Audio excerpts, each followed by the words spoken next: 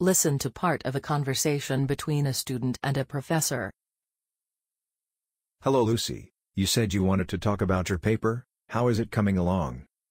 Well, I've decided to stick to the topic on the political economy of nuclear power, but I guess I'm a bit stuck. Okay, what seems to be the problem? I'm sort of having trouble finding general reference sources, so I was wondering if you could recommend some for me. You can't find references on nuclear power? There are thousands of books and journals available at the library. And perhaps tons of new articles are published every six months. Well, to be honest, I'm at a loss to approach the subject, because the websites I have visited gave me all different numbers, and did not provide enough critical data for my study. Did you visit websites like NED, Star Nuclear, and Fukushima? Yes, Professor. I did all the readings of the articles on those websites. That may be part of your problem. The websites you visited are for companies that manufacture nuclear energy.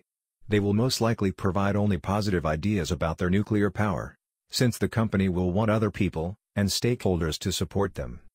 Okay, so, I should not use the information from the websites of private enterprises, because they are sort of biased, right? That's correct. But I'm not saying they are giving out misleading information.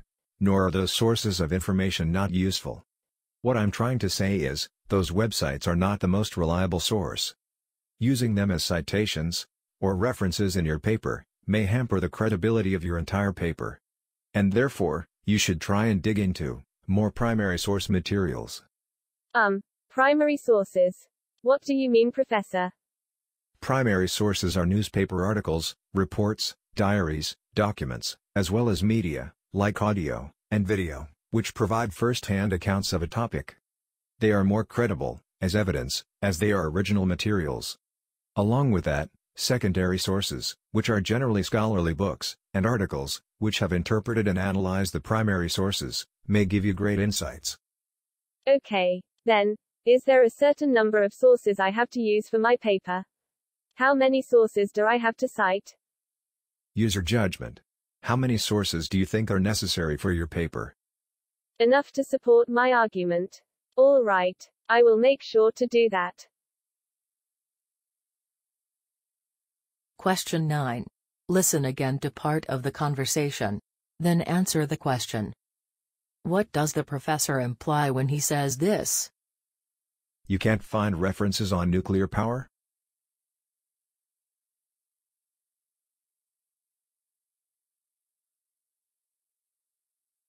Question 10. Listen again to part of the conversation. Then answer the question. What does the professor imply when he says this? That may be part of your problem.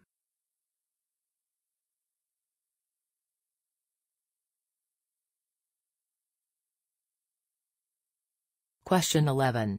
Listen again to part of the conversation. Then answer the question. Why does the professor say this? User judgment.